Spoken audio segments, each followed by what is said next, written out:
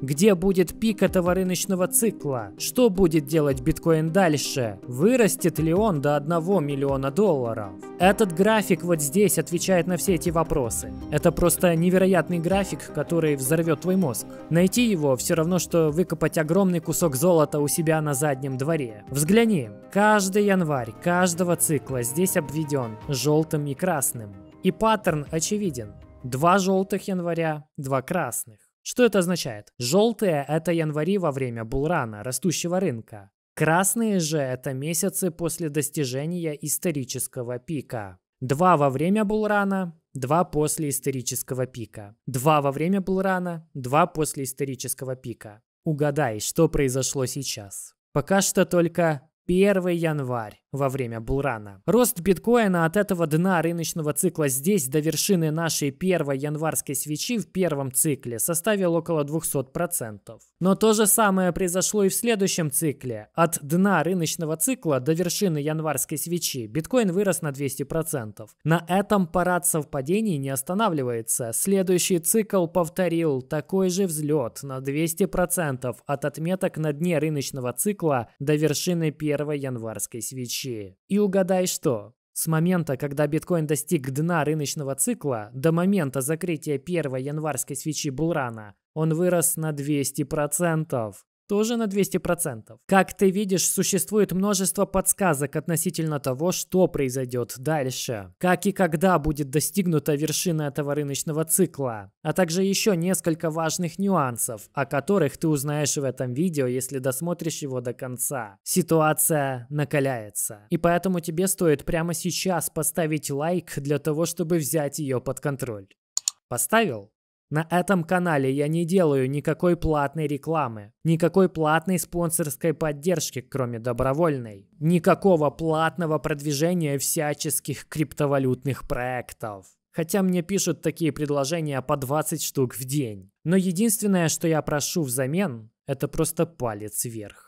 Итак, это месячный график биткоина по отношению к доллару США. Закономерности, которые мы обнаружили на этом графике, просто дикие. Мне нравится, что у нас есть две январские свечи во время бычьего роста. Мне нравится, что мы видим также две январские свечи сразу же после окончания этого роста. Это происходит каждый раз. Мы достигаем дна медвежьего рынка, затем мы видим две январские свечи на булране. Мы достигаем пика бычьего рынка и видим две январские свечи на медвежьем рынке. Но эти две свечи, которые постоянно повторяются, имеют некоторые существенные инсайды, которые я хочу разъяснить. Если мы возьмем вершину этой январской свечи и отмерим, как много дней прошло до пика этого булрана, мы получим 670 дней. А как насчет этой первой январской свечи? Измерим от нее до вершины булрана и получим 700 дней. Первая январская свеча в этом булране – 670 дней. Вторая январская свеча в этом булране – 700 дней. Теперь давай перейдем к этой, третьей свече. В третьем булране. Здесь еще интереснее – 670 дней. Итак, 670 дней от вершины первой январской свечи до вершины всего рыночного цикла, затем 700 дней и опять 670 дней. Сейчас мы видим эту первую январскую свечу, а значит исторически должно пройти либо 670, либо 700 дней, прежде чем мы достигнем пика всего этого рыночного цикла. И если это будет 700 дней, то это приведет нас к декабрю 2025. Как я уже говорил множество раз, в 2026 году начнется распродажа, возможно, всех рынков, а не только рынка биткоина и крипта. Так что нам нужно подготовиться к этому сегодня. Но декабрь 2025 это потенциально потенциальный максимальный пик цены для биткоина в этом цикле, учитывая имеющуюся у нас информацию. Опять же, мы смотрим только на чистые факты. Я не говорю о своих надеждах или своих прогнозах. Нет, это просто то, о чем говорит график цены. Декабрь 2025 вполне соответствует тому, что мы обсуждали раньше. Октябрь 2025 плюс-минус несколько месяцев. 2025 год, очевидно, станет тем, когда цикл достигнет своего окончательного пика. Но Если мы измерим движение цены от вершины нашей первой желтой январской свечи до вершины Булрана, мы увидим рост где-то на 16 тысяч процентов. Итак, первый цикл – рост 16 тысяч процентов. Давай сохраним это значение на экране. Во втором цикле мы выросли примерно на 4000%. Второй цикл продемонстрировал сокращение доходности 4 раза. Именно поэтому те, кто говорит, что в этом цикле биткоин достигнет 500 тысяч долларов, миллиона долларов и так далее, мне эти цифры кажутся нереалистичными. По крайней мере, в этом цикле. Говорю это как про биткоинер. Давай просто посмотрим на факты. 16 тысяч процентов роста в первом цикле, 4 тысячи процентов во втором. А что же было в третьем? От вершины январской свечи до вершины Булрана 600 процентов доходности. Итого на протяжении трех циклов доходность падала с 16 тысяч до 4 тысяч процентов, а затем до 600 процентов. Доходность падает с каждым циклом. И все думают, что каким-то образом биткоин сейчас взорвется до миллиона долларов в ближайшие 12-18 месяцев. Факты говорят, что это маловероятно конкретно для этого цикла, однако в долгосрочном будущем все возможно. Если изучить структуру циклов, Первый был слишком параболическим, а вот второй цикл показал себя как по книге, красивый учебный цикл, который можно использовать для примера. Но вот третий цикл столкнулся с некоторыми проблемами, это видно прямо здесь. В какой-то момент цикл длительное время даже двигался в боковике, в боковом движении. Мы даже можем назвать это как бы первой фазой рынка, второй и даже третьей фазой. Причем все три фазы затянулись. Сейчас со стороны множества лет, что с тех пор прошли, этот цикл даже не выглядит бычьим. Это даже не смешно. Итак, 16 тысяч, 4 тысячи и 600 процентов.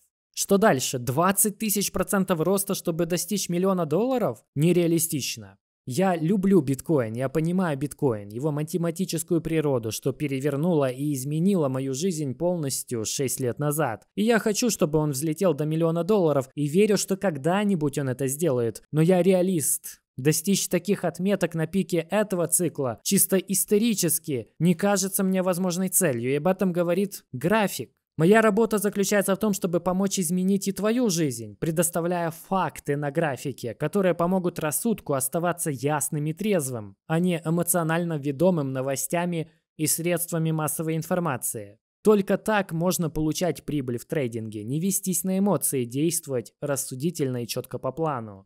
Если взять любой из этих циклов, на графиках нет никаких фактов и аргументов, которые бы говорили, что этот цикл мы закончим на отметке в 1 миллион долларов. Но что же должно произойти дальше? Мы закончили формирование первой желтой январской свечи, и следующая, вторая январская желтая свеча будет еще интереснее. Ведь если мы посмотрим на предыдущие желтые свечи, то увидим, что между ними вот в этом цикле было около года времени. Причем первая свеча случилась в первой фазе булрана, а вторая в хвостовой части второй фазы. Во втором цикле все точно так же. Первая свеча случилась в первой фазе, а вторая свеча в хвостовой части второй. Но есть изменения. Удлиненная часть по сравнению с предыдущим циклом первой фазы. Но третий цикл показывает еще большее изменение. Здесь настолько удлиненный цикл, что вторая свеча уже не во второй фазе, а как будто бы в третьей. Произошел значительный сдвиг. И это означает, что каждый цикл не только теряет в доходности, но и растягивается по времени. Исходя из доказательств, которые у нас есть на графике, мы видим, что каждый цикл отодвигает эти январские свечи ближе к вершине цикла. Просто заметь, как долго мы еще росли после второй январской свечи вот здесь. И как в этом цикле от второй январской свечи к вершине цикла прошло уже меньше времени. И как в этом цикле, в третьем, вторая январская свеча случилась чуть ли не на самом пике рынка. Не нужно быть гением графиков, чтобы понять, каждый новый цикл при достижении второй январской свечи на булране теряет момент. Рынок теряет силу, покупатель сдувается быстрее. Поэтому я не удивлюсь, если наша следующая вторая январская свеча этого рыночного цикла окажется либо уже на пике цикла, либо рядом с этим пиком. Я надеюсь, ты понял, о чем я это довольно сложно объяснить, но возможно понять, если разобраться. И сейчас я задумался, что, возможно, четырехлетний цикл уже давно превратился в восьмилетний, начало которого было положено в 2021 году. И этот восьмилетний цикл, хотя и будет расти, но в целом его движение будет менее взрывным, чем раньше, и со стороны будет казаться растянутым растущим боковиком. И это хорошо, потому что это избавит рынок как минимум от половины мошенников из камеров и бесполезных монет, которые ничего не делают и ничего не решают. Все они обанкротятся, что будет очень здорово. 95% минимум альткоинов перестанет существовать. И после этого криптовалютные и блокчейн-инновации будут просто невероятными, а качество рынка выйдет на совершенно новый уровень.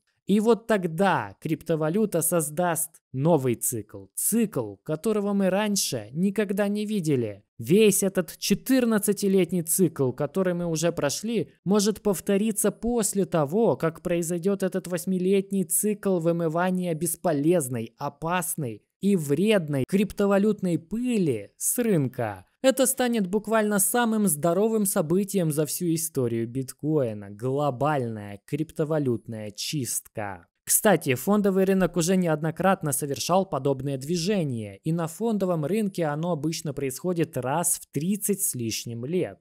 Судя по всему, на криптовалютном рынке оно будет происходить раз в 14 лет. Так что нас ожидает полный flush out. И это то, что нужно криптовалюте, если честно, и похоже, она готовится именно к этому. Так что, если ты еще раз внимательно посмотришь на эти январские свечи, ты осознаешь эти доказательства еще яснее. Если честно, я просто в восторге от этого графика. Но сейчас все наше внимание будет приковано к следующей, второй январской свече на этом булране. Жми на кнопку подписки, колокольчика и лайка. И мы с тобой увидимся в следующем видео. До скорого!